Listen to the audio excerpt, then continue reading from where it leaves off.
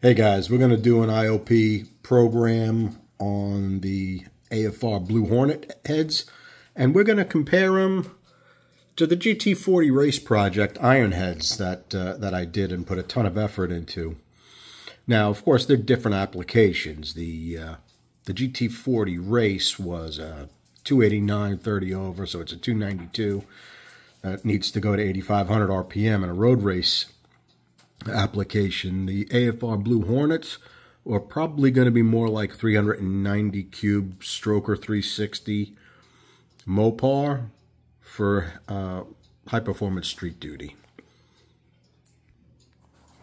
Okay, this is our GT40 race. We're 170 uh, cc port volume. It's a 1.9 intake valve. It's 11 second stems. It's got a 1.67 throat ratio, which is relatively tight. And we top out around 259.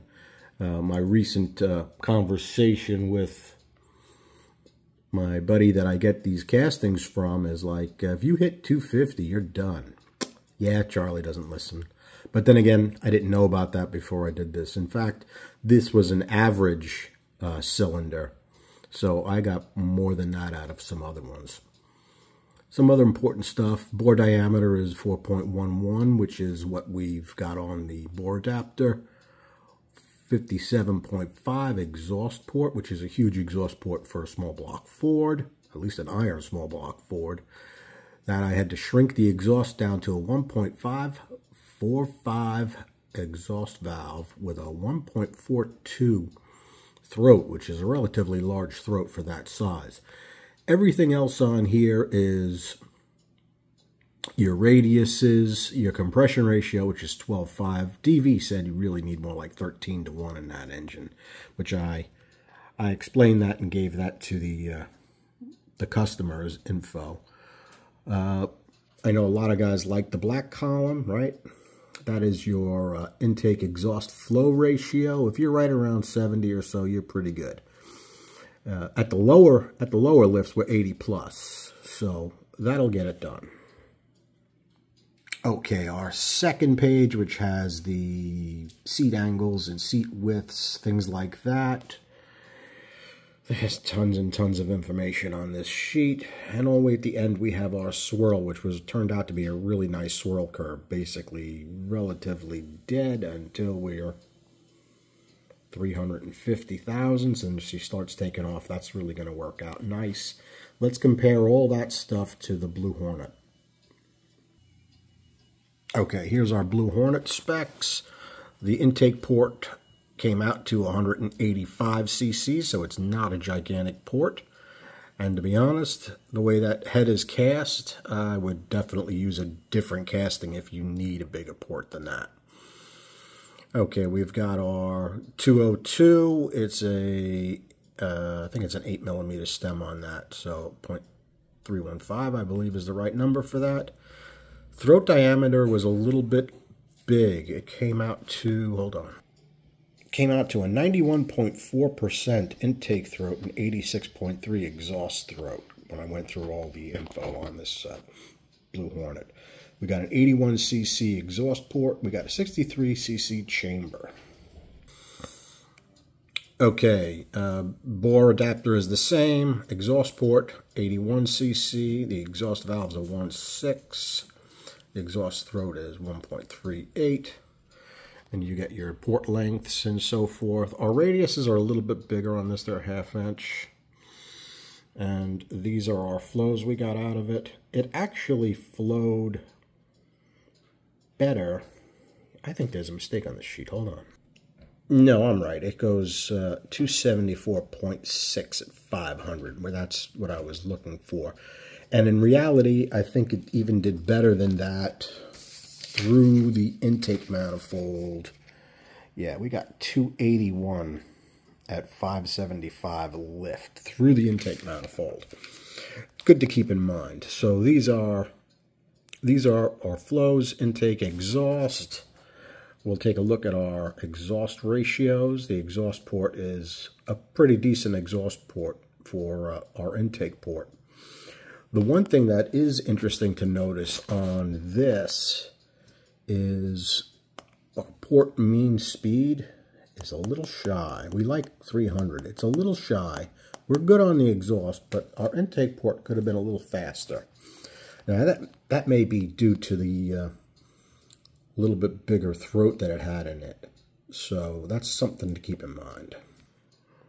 Should mention uh, Stan Weiss got in touch with me and he this is his latest version 4.6.1 it is a little more user friendly which is great for someone who is not that great on a computer like me. Okay second page we've got our angles and our widths. We've got tons of info.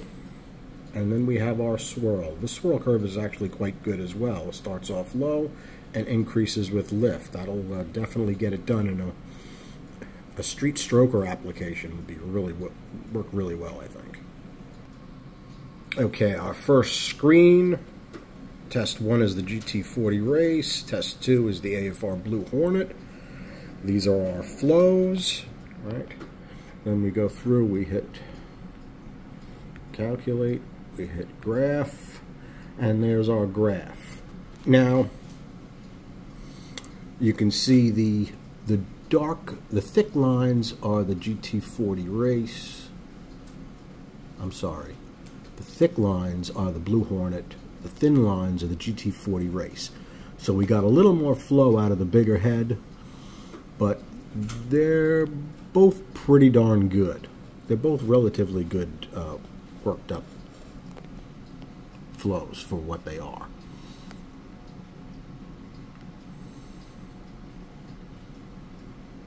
Okay, CFM per square inch, calculate, graph, all of our all of our flows. This is very, very much uh, dictated by our valve job. So we're in pretty good shape. We're well over 100% efficiency.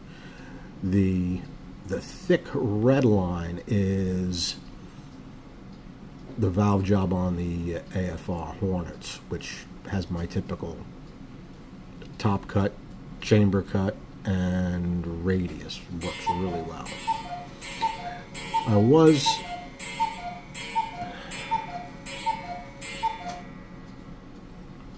my Black Forest Cuckoo. Okay, uh, forgot where I was, but overall, not bad, okay? They both go up after your 0.25D line. They should go up a little bit more, but they don't. Notice this, this thin one here is has a little bit better recovery. That was probably due to the incredible amount of work that I have put into that head. Okay, let's move on. SAECD calculate graph it's a very similar curve to what we just looked at, okay? You're showing the efficiency of the valve job and so forth. I'm, I'm going to go through this relatively quick, guys. Mean port velocity. Now, this is, a this is an interesting... This tells us a lot, okay? The Blue Hornet is a touch slow. Okay, we would like to see this over 300 here. It's not. It's a little bit it's only like 280 and change. Okay. And the GT40 is not that much better. It's like right at 300. Both exhausts are a little fast, but the faster they are, the more efficient they're probably going to be, in my opinion, which means nothing. Okay, port energy, calculate, graph, Okay, we've got we've got solid port energy on both designs. Both of them are pretty darn good. The the thin line is the GT40 Race extra huge exhaust port, which loses a lot of efficiency. Okay, you can see the difference here. The AFR has got a better exhaust port design. Okay, port energy density, calculate graph. Okay, now this is a similar chart, but it takes out the port length out of the equation. And you can see the huge difference in your exhaust ports right there, okay? The larger exhaust port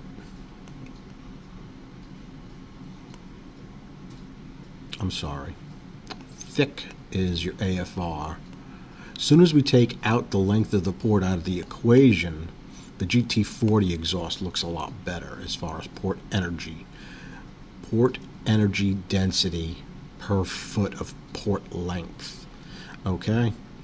Our intake's pretty close. We do dive a little bit on the AFR Blue Hornet when you take the length of the port out of the equation. Okay, effective velocity is telling us what we're doing right at the valve seat. Uh, we're almost 400 feet per sec um, per second when we crack the valves off. All all of the valves are super fast right off of there, and the more that they hold up, the better off they do. So if we look at our thick graph on the exhaust, the AFR Blue Hornet is definitely the winner in this chart. The intake port is the loser. Wish I could have done a little more with that intake port. Just do not have the casting thickness. Does that mean it's not going to run great? I think it's going to run fabulous, but in reality, I wish they did the the casting a little different. It would have made it a much better head. Okay, our swirl charts. They're actually quite similar, right? Relatively low, and then they both take off. E either one will work really, really well as far as I'm concerned.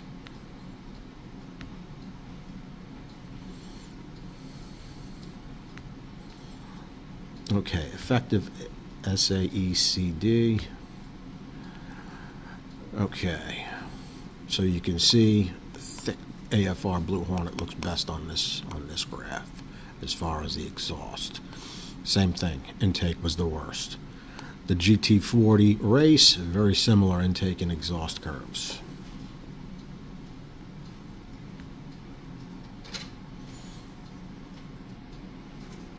I should have mentioned that this is the flow sheet we're using on it. It is... I use the back of that page to write everything else out. This is the flow sheet we're using. This is number 7 cut final valve job. And if you take a look, we maxed out at 278 at 0.55 and 281 through the intake manifold. Not bad. Not bad at all, especially when you consider it's a 185cc port, guys. Okay, this one's got all our information as far as CCs, length of the runners, runner design. You can see I made a mistake on our drawing, but you can see the radical upswing on a Chrysler exhaust port, which is not necessarily a bad thing. Our heights, widths, and valve sizes. Okay, we're going to go back to the Blue Hornet page. We're going to take a look at our mean area, 2.299. And we're going to apply that to another page. Okay, some of the info we're going to put in here is our mean port area. Bore is 4030, which I think is correct for a 30 over uh, 360 block. Put a 4-inch stroker crank in it.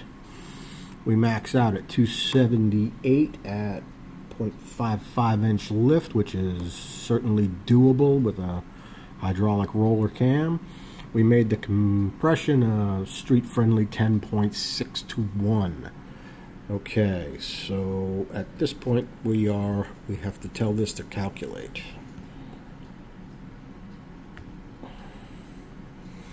Okay, so at this point it tells us what we're, what we're doing.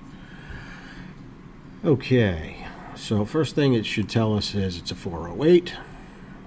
Okay, our peak horsepower is only 61 and change, very doable. 6600 shift. Remember, it's designed right around 6500, so that all works. Our mean piston speed, 4000 and change, very doable. Best torque output, 570. Cylinder head port horsepower limitation, 590. Cylinder head airflow horse limitation 613. I always feel like that's a little high. But it would be interesting if we got some feedback on this. Our Mach index we didn't change, so it's 0.548. Torque per cubic inch 1.39, not bad for a street motor. Torque per liter 85.2. Horsepower per cube 1.5, not bad. And if built like this, I bet it'll come pretty close to that. It'll definitely be over, I'm going to say it's going to be a 500 plus horsepower package, no problem. If you guys don't agree with me, you let me know. And we're 15 minutes in. I think we've covered enough of this. Don't be afraid to ask me questions on this. This is actually going to get cleaned up and packed. And we're going to be moving on to some other goodies soon. Thanks to Stan Weiss for sending me the latest version. And thanks for hanging out, guys. Have a good night.